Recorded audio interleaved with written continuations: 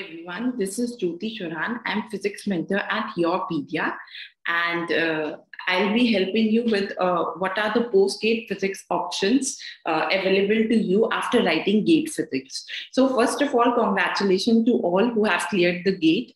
And uh, if you want to know more about what are the options where you can apply after gate uh, after you with according to your gate score gate uh, college percentage and your interest please join your pedia सी इससे कोई फ़र्क नहीं पड़ता है कि आपका gate score low है कि हाई है आप हर एक iits में एटलीस्ट ऐसे टेन डिपार्टमेंट्स हैं जहाँ पे आप अप्लाई कर सकते हैं PhD positions as well as MTech positions के लिए। तो कहीं ना कहीं आपका प्लेस आपको ज़रूर एडमिशन मिल जाएगा। In fact even in IIT Bombay as low as if you have a GATE score as low as 350 तो भी आपका एडमिशन हो सकता है एमटेक पोजीशन में।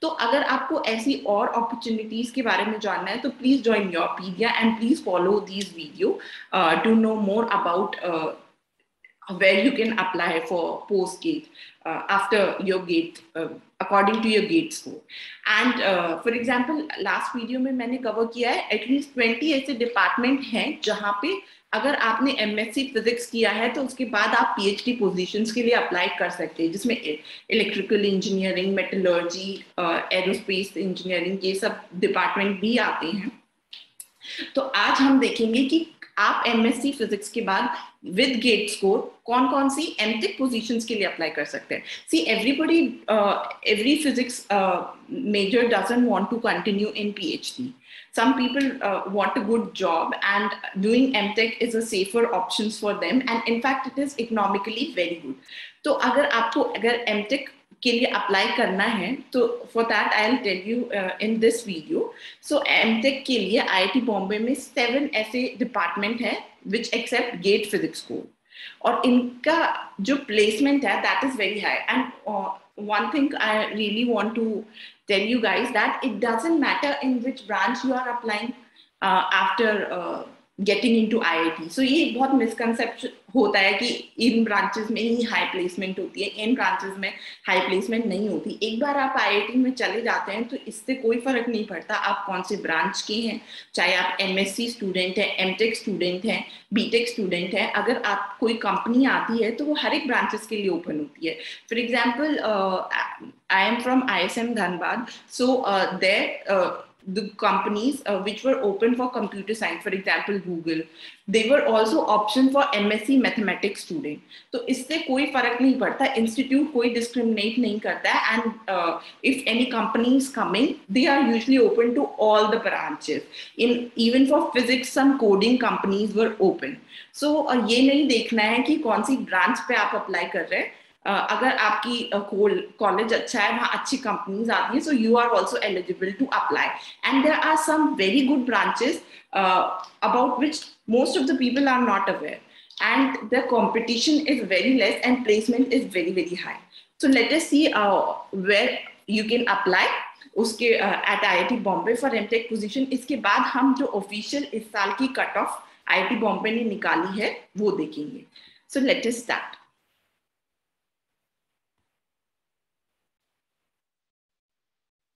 So IIT Bombay provide MTech in 18 courses. So, and uh, out of these 18, the, student who have given GATE physics can apply to seven MTech positions. And uh, let us see. For first, uh, first department at which you can apply is biomedical engineering. so, इसमें हम department of bio science and bio engineering so इसमें अगर आप किसी भी discipline के हैं तो आप अप्लाई कर सकते हैं for example you can see if you are from if you have done BTech, then you can apply in chemical uh, engineering, computer science engineering, electrical engineering, then you can apply. और अगर आपने MSc की है biochemistry में biophysics, biotechnology, uh, chemistry, electronics, uh, material science, physics, physiology या और भी किसी चीज़ में आपने एमएससी की है और हर एक गेट स्कोर इसमें वैलिड है। तो आपने अगर किसी में भी गेट uh, एग्ज़ाम दिया है तो उसका गेट स्कोर यहाँ पे वैलिड है so in this column it is given that which GATE exam you have to qualify to apply so one department where you can apply is uh, in for the mtech is in bioengineering so they have very good placement in pharmaceutical engineering and abroad in india as well so uh, you can apply to this branch if you uh, and i'll share the cutoff in the next uh, in in this video only And other branch where you can apply is, uh, see in computer science and engineering also, uh, MSc physics student can apply. लेकिन इसके लिए आपको gate C S में देना पड़ेगा सो this is अगर आपने gate computer science में दिया है तो आप अप्लाई कर सकते हैं इसके लिए आपको गेट स्कोर जो है वो सी एस का चाहिए ओके? लेकिन अगर आपने बीटेक किया है आईआईटी uh, से तो आप कोई भी गेट स्कोर आपको किसी भी गेट स्कोर की आपको ज़रूरत नहीं fine so as by research in department of computer science and engineering में भी see physics student can apply लेकिन उनके लिए उनको गेट स्कोर सी एफ़ में चाहिए Uh, so that that's why i'm not telling more about these branches other branch where you can apply is uh, your electrical engineering so electrical engineering में M tech from I I T Bombay is a very prestigious course इसमें placement भी बहुत अच्छी होती है. For that I don't have to tell you और इसके लिए M S C physics student can apply and also अगर आपका गेट स्कोर नहीं है, उसके बिना भी आप इसमें अप्लाई कर सकते हैं. I okay so electrical engineering department में अप्लाई कर सकते हैं एमएससी और इक्विवेलेंट अगर आपने इलेक्ट्रॉनिक्स में किया है इलेक्ट्रॉनिक साइंस में किया है फिजिक्स में किया है, या बीटेक आपने इनमें से किसी भी कोर्स में किया है तो आप इलेक्ट्रिकल इंजीनियरिंग डिपार्टमेंट में अप्लाई कर सकते हैं। और कौन कौन से गेट स्कोर यहाँ पे वैलिड है? One is GATE in CS अगर आपने दिया है, फिर ईसी e फिर ई e, ई e, मतलब इलेक्ट्रिकल इंजीनियरिंग में अगर आपने गेट स्कोर दिया है गेट गेट एग्ज़ाम दिया है इंडस्ट्री आईएन में दिया है physics GATE score is also accepted here okay अगर आपके पास गेट स्कोर नहीं है उसके अलावा भी आप अप्लाई कर सकते हैं अगर आपके पास रेलिवेंट एक्सपीरियंस है टू इयर्स का। तो आपको गेट स्कोर भी देने की ज़रूरत नहीं है। अगर आपके पास एमएससी के बाद दो साल का एक्सपीरियंस है और वो जो जहाँ पे आप जॉब कर रहे हैं they are ready to sponsor you for MTech position लेकिन इसके अगर आप इस प्रोग्राम के थ्रू आप आ रहे हैं then you can not apply for teaching और research assistantship okay so next option after electrical engineering और इसमें बहुत अच्छी प्लेसमेंट है। तो अगर किसी को इसमें एमटेक पोजीशंस के लिए अप्लाई करना है so they can definitely go for this another good branch is um, science and engineering. So this is again interdisciplinary branch इसमें भी प्लेसमेंट बहुत अच्छी होती है। कभी कभी हमको लग, हमें नॉलेज नहीं होती इन सब डिपार्टमेंट की इसलिए यहाँ पे ज़्यादातर लोग अप्लाई नहीं कर सकते करते but they have really really good placement and they are accepting GATE physics को। तो इसमें कौन कौन अप्लाई कर सकते हैं? BTech student can definitely apply ये सब ब्रांचेस में अगर आपने बीटेक किया है uh, तो आप अप्लाई कर सकते हैं। या तो अगर आपने MSc atmospheric science biotech biochemistry chemistry earth science environmental toxicology toxicology environmental science microbiology या फिजिक्स में अगर आपने एमएससी किया है तो भी आप environmental science and engineering department में अप्लाई कर सकते हैं। और गेट स्कोर जो वैलिड है वो ये सब गेट स्कोर अगर आपने इनमें से कोई भी गेट एग्ज़ाम क्लियर किया है तो आप इसमें अप्लाई कर सकते हैं, जिसमें गेट फिजिक्स भी है।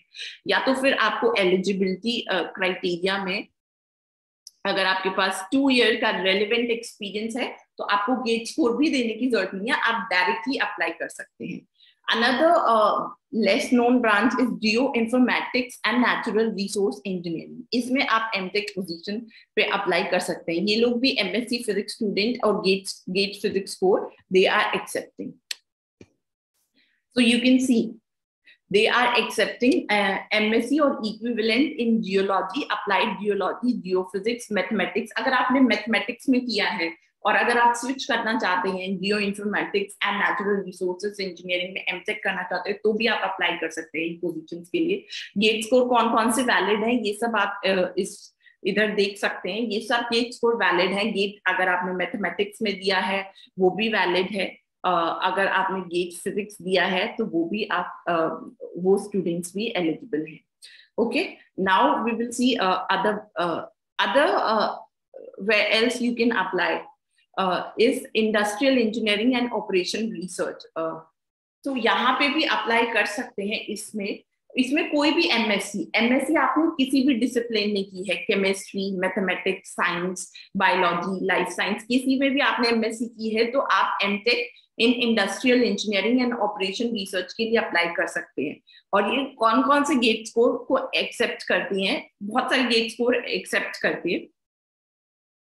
ये first is mathematics electronics and communication electrical engineering का GATE score they are accepting physics का GATE score they are accepting petroleum engineering basically बहुत सारे एग्ज़ाम्स की गेट स्कोर एलिजिबल है सो गेट फिजिक्स और गेट मैथमेटिक्स स्टूडेंट तो अगर आपने एमएससी मैथ मैथमेटिक्स में या फिजिक्स में किए तो उसके बाद आप यहाँ पे अप्लाई कर सकते हैं। सिमिलरली uh, एक आप metallurgical engineering and material science department में अप्लाई कर सकते हो। सो ये जो आईआईटी बॉम्बे का डिपार्टमेंट है ये टॉप यूनिवर्सिटीज uh, से कंपेरेबल है। अगर आप यूएस की टॉप यूनिवर्सिटीज देखिए उनकी प्लेसमेंट और आईआईटी बॉम्बे की placement metallurgical engineering material science में बहुत कंपेरेबल है। तो इस इतने uh, अच्छे कोर्स में भी MSc physics student can apply with their GATE score so they are accepting GATE physics student also इसके लिए आपको कोई और गेट देने की ज़रूरत नहीं है। गेट एग्ज़ाम तो GATE with GATE physics you can get admission into metallurgical engineering and material science and they have very high placement and it's very prestigious course and it is world renowned course कि आप world uh, में भी कहीं और job करना चाहते हैं या हायर स्टडीज़ के लिए जाना चाहते हैं तो अगर आप एमटेक आईआईटी बॉम्बे में मेटलर्जिकल इंजीनियरिंग इंजीनियरिंग डिपार्टमेंट से करते हैं तो बहुत एक अच्छा ऑप्शन माना जाता है।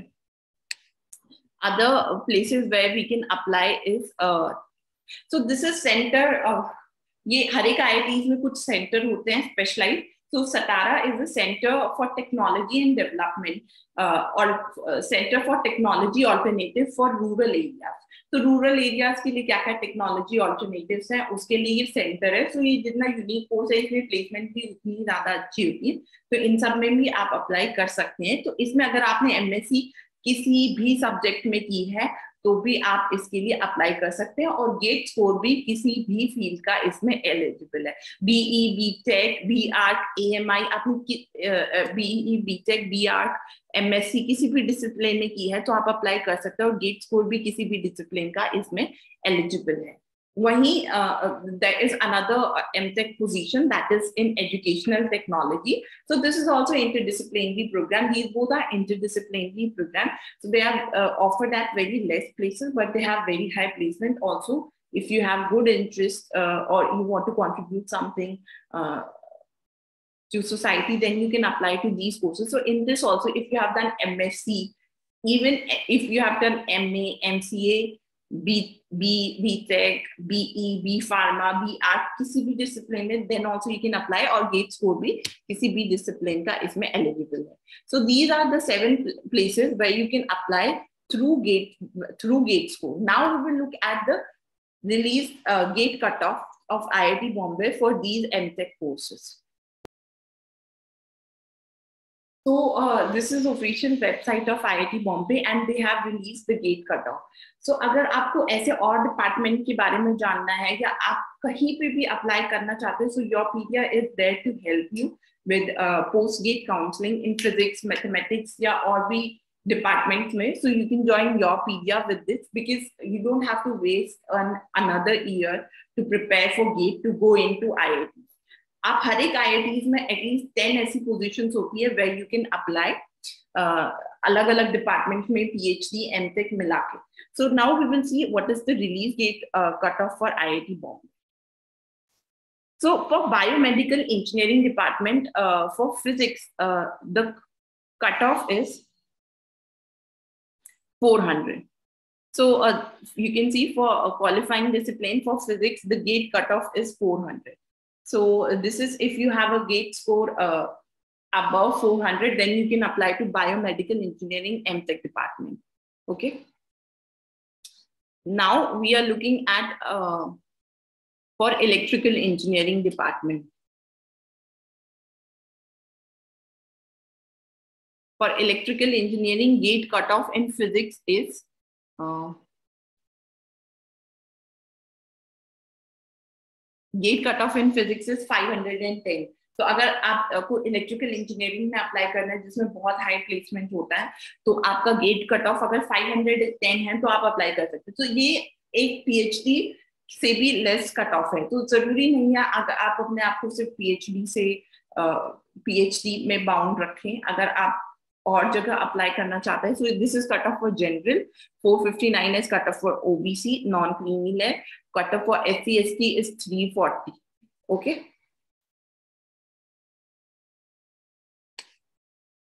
Now we will see the gate cutoff for uh, environmental science and engineering.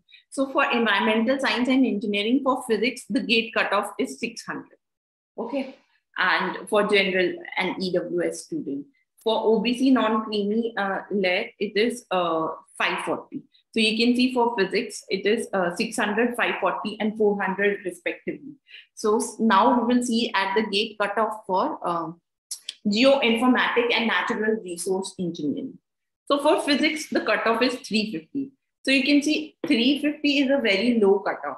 इतनी कट ऑफ के साथ आपको कहीं पे भी पीएचडी पोजीशन भी नहीं मिलती it's just a qualifying marks तो अगर आपकी मार्क्स इतने हैं तो भी आप आईआईटी बॉम्बे जैसे प्रेस्टिजियस में पढ़ सकते हैं so you can apply for that 350 for general and you can see 315 for OBC 233 for SC ST similarly you can see this is the minimum GATE cut off for industrial engineering and operation research so for उसके लिए आपकी cut off है 650 for general you can see है. For physics it is 650 For uh, 650 for general EWS student, for OBC and non-creamy layer, it's 585. For SCST, it's 433 cutoff for this so now we are looking at the material, metallurgical engineering and material science. For physics, uh, its qualifying cutoff is 450. So again, this is, I have already told you that it is very prestigious course. It is comparable to foreign, good foreign university. Uh, तो इसमें बहुत अच्छी अच्छी companies आती हैं तो अगर आप चाहते हैं आपका डायरेक्ट प्लेसमेंट हो जाए आपको पीएचडी नहीं करना तो 450 जो कि इतना हाई गेट स्कोर नहीं है उसमें भी आप एक अच्छी एमटेक पोजीशन वो भी आईआईटी बॉम्बे से आप कर सकते हैं so 495 is cut off for Satara, that is Center for Technological Alternative for Rural Areas. So for 550 is the cutoff for general, 495 is for OBC, and for SCST it is uh, 367.